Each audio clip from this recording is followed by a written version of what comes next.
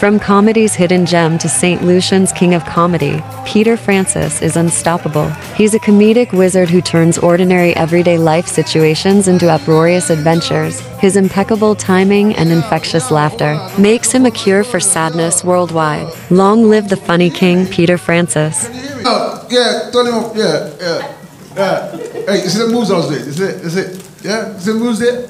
Only over 40s do this shit. Do this shit all day, that's it. That's how you can tell someone's old. Uh, what you say, bro? You do this, innit? This is you, innit? Yeah, I know. Young girls come up to us and do all of this shit. They say, don't you like dancing? Bitch, I'm dancing. What the fuck's wrong with you? Where you from, bro? Antigua. Antigua? Oh, you're the airport, the petrol station. Antigua's the petrol station.